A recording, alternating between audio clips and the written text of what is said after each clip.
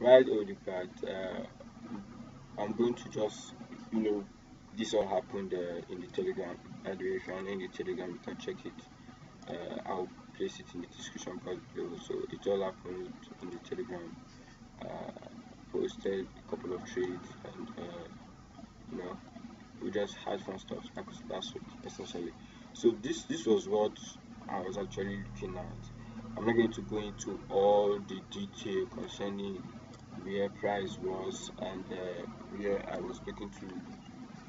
Uh, I'm not going to go into all the details concerning you know where price was and you know where my you know long-term bias is. I'm just going to talk about you know how you could have see this move for yourself as well and hopefully get involved. So uh, right off the bat, okay Alright but I'm going to mark this out like this. You can see uh, this is the 31st candle. This last candle right here is the 31st candle. And that's the candle we should be looking at before anything else. As if we are reading it, you know, or we are back testing to say, you know, uh, first thing i'm not going to i'm not using TradingView premium so i'm not cutting any chart. That's by design and secondly you've already seen this trade or most of you guys must have already seen this trade so you already know what's going on. It's not a matter of me showing you a you know a back testing chart. Just a matter of me explaining what's going on. So if we check the order flow right here it looks bullish. If i go to the weekly the monthly there's a lot of stuff to talk about but there's no need to do that right? Now let's just see what we have right here. And uh, first i want to say whenever price tests an order block the low of that order block becomes a liquidity pool right? So i just want to put that out. In case you see me doing something in the future you just know okay this is where it's coming from. So we had price right here let me put my let me draw some lines so you can clearly see okay this is the 31st if you take your line if you mark let's say we mark this high right this uh, the open of this candle right here right that's the price we want to buy from. Why are we buying from there? You can clearly see this area broke market structure if i'm not seeing it. This area right here this was a clear break of market structure to me why was it a break of market structure? Because we beat a fractal high or a free or a swing high. You can see it. If you don't know what a swing high is, uh, this is it. A swing high is two is two, three candles with you know either a higher high or a lower low within it. So for example, this would be a swing low, right? No, no delete that let me use this this this will be a swing low now it doesn't matter if the candle is bullish if this one is bullish this is very this is bullish this is very short it doesn't matter the color of the candle. What just matters is if the thing sweeps like this. We call this a swing low same for a swing high. It's just something like this. So if it sweeps like this with two lower highs you know you call it a swing high. It's that simple. Let's not let's not complicate it. And it's only formed with three candles. You see three candles forming it that's when okay you know it's forming. Uh, the best way to see it if you really don't you are not used to seeing it on your you know first indicator to just type in fractals. And you I enter Brilliant fractals. It will start displaying a method that needs five candles then as you progress you should be able to see it with uh, just three candles you know. Now back to what I'm doing. You can see this order block. Got tested by this mitigated. Then when it was mitigated it broke its finger and we saw this rapid impulsive move. You're not going to tell me you can ignore you know that move. So where's the next order block? This i was just following the mitigation or i say following institutional flow. And he reacted nicely here. Now when he reacted nicely here i'm not getting involved. This was uh, during the holidays and just before january. Now what happens is that how do you qualify an order block? You qualify on order block. Let's say this is a bull candle. So a bear candle let me color it uh, with my let me color it uh, black. Right. Let's say this is a bear candle. Right. How do you qualify this to be a bullish order block? It's when a bull candle trades for, whether from inside for whether anywhere it trades from trades above it. Now a lot of people usually ask this question does it need to close above it? Uh, it doesn't need to close above it okay? It just needs to trade above it even if it's by a week. If it's by a week it's okay it's more than okay okay? So that's how you qualify a bullish order block. A bearish order block just flip the scenario and uh, you get what you're looking for okay? So now you see it here big down move. As at this point as at the this thing manifestation of this candle we are not qualifying it as an order block. But when this candle break the broke this high right here that's when we started paying attention considering this as an order block. And when it got retested it was valid. Same thing here. As at this point we were only considering this bullish candle as an order block we weren't considering this high. But when everything broke we knew everything here was an order block so we can just take the 50 percent of this and be looking for somewhere to get involved. Now this is too fancy. I'm not going to go deep into that. Let's just look at how to get involved with simple market structure and institutional order flow. So now we saw this bullish order block right here from this down move to this up move that penetrated the high. So what actually calls our attention immediately is this we measure the 50 percent of the bodies. That's what i do. I do not count the weeks when i'm trading although i put my stop loss below the weeks but i like to get involved at the 50 percent of the body. So when we do that you can see the result but upon this candle this uh, new year's eve candle that's when you have it marked.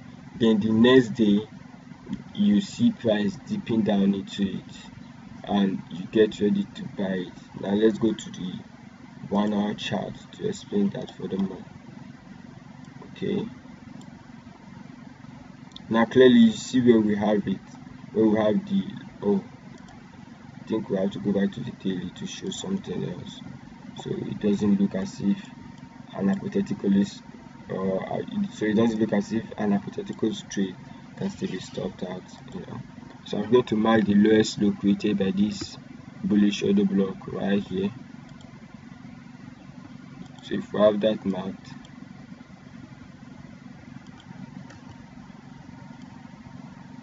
so if we have that marked let's continue from where we stop right? So what's the next step? We just need to go to the lower time frame and see how we can get involved so going to the one hour chart why do i like using the one hour chart it gives me clarity. When i say it gives me clarity i'm able to see price from a perspective of from an intraday perspective. If the only way i I use my 4 hour chart is only when the only way I will use my 4 hour chart is when the price action on the daily is not discernible. Now you can see clearly that the price action on these daily candles is discernible. I saw the bullish order block and I was like, okay, I want to buy something from here, right? If it's a little bit sketchy, let's say there's a lot of weeks and I don't know where the immediate week will reject from and give me a little bit of scalp or a little bit of retracement to trade, I will be thinking, what should I do then I move to my forward chart to see if there's any more clarity it can provide but aside that I usually just keep from the from the daily to the one hour. So I'm going to open my session breaks just so you can count the days with me and uh, there will be no ambiguity about it all. So this was monday's trading. Now upon monday's trading we are expecting to buy on a low to sell at high because we just approached the bullish order block. So as we traded right here you could have made an entry right here and still keep your stop loss here. But no that how there, there should be some level of precision to your trading. And uh, for me uh, i wouldn't i personally i don't take trades on monday so i didn't do that. I didn't buy you know i didn't just call this an order block and say okay if i see a reversal signal let me just buy it and ride it to the upside. Right no that's not what i did. This is what i anticipated essentially. So i said where are my order blocks that still have liquidity voids to be filled on the one hour chart right? Where are they? Then i checked and i saw you know this. Though this was the low which we marked out from the daily chart right? But this was the main order block the body of the other the candles that were broken because as you can clearly see as soon as we hit a that specific low we quickly went up to so this was actually a weak move or this actually produced a week on the daily chart. So on this retracement i wasn't simply going to be buying from here not necessarily because uh, i was trying to get accurate with my entries but simply because i don't trade uh, during the I, I, don't, I don't trade on monday and uh, i was still waiting for certain confirmation. Now upon tuesday's price action i saw price hovering around here what would i be thinking of selling it right? Because i wanted to buy at these levels. Now because a sell trade based on what i have seen on the daily chart was counter trend i didn't take that trade on tuesday as well as you can see as you notice if you're in the telegram channel i didn't post it as well. So where would you have been selling from? This order block you would have been considering this the order block that broke structure to downside there's a lot of facets to it but i don't want to go deep into that. Well let me talk about when price actually got to my entry right here. So there are two ways i did this. I was right here then i pulled my fib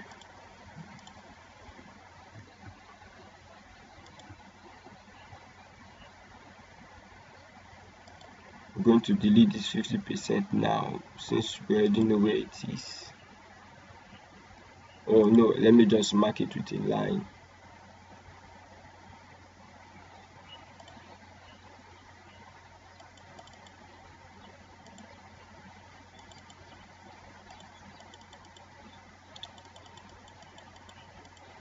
Perfect.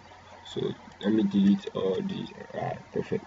So this is 50 percent of ob so now that we have that let's see if i have it. Oh i, I don't have it so. If that's the 50 percent and i just pull my fib where i do where do i ideally buy?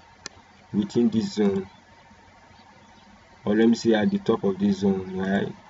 However from my intraday perspective this is going to be if i'm framing this this is a swing trade which just you know which is still here which i'm expecting for further target and maybe hitting this place before dropping. It's all good though. But uh, let's concentrate on what i did. Upon price reaching here i just moved to my lower time frame right? Which is the 30 minutes. As i was in the 30 minutes right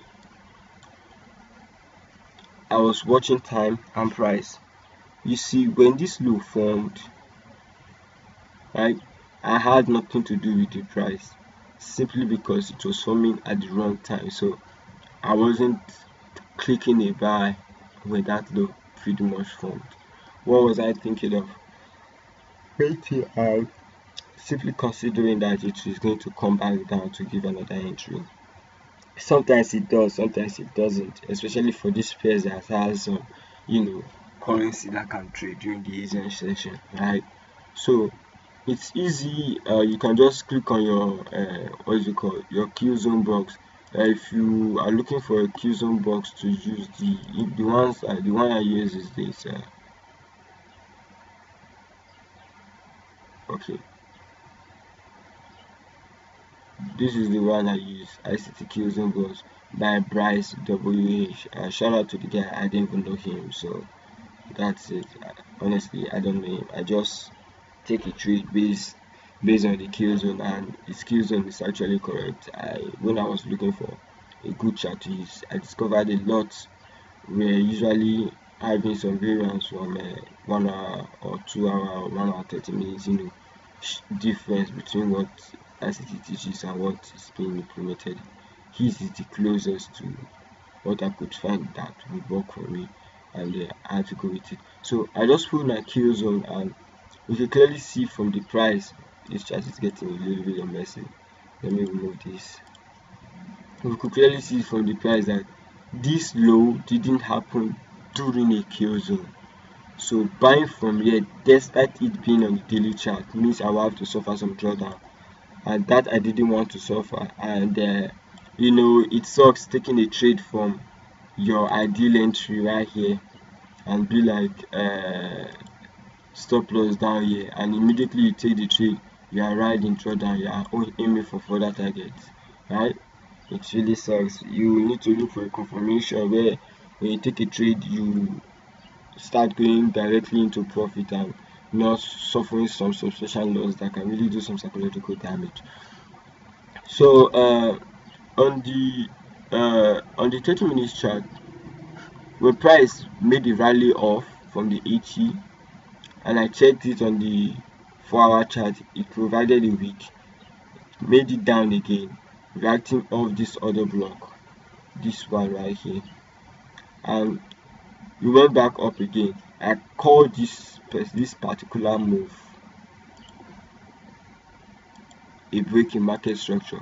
Now why is it a break in market structure? You might be wondering. Check out these candles these three candles.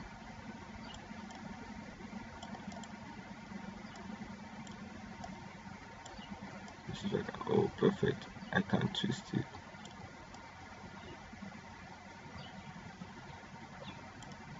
yeah check out these three candles. Candle with two lower highs are at the side of it. That's what you classify as a swing high. So upon this swing high being broken it was price was bullish for me. So I just had to go to my 5 minutes chart and get involved on the buy which is this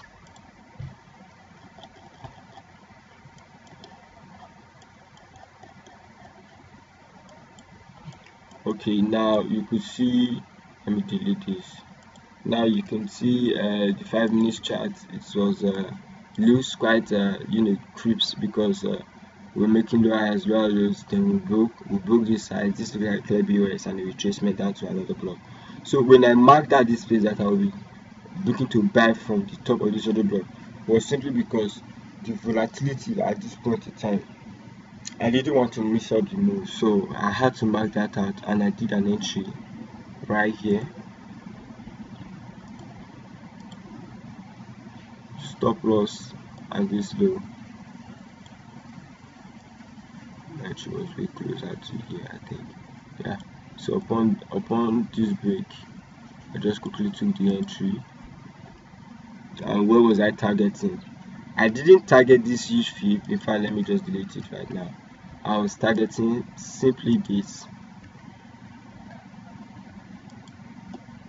First though I have a frame of the of the you know huge fib in my head right?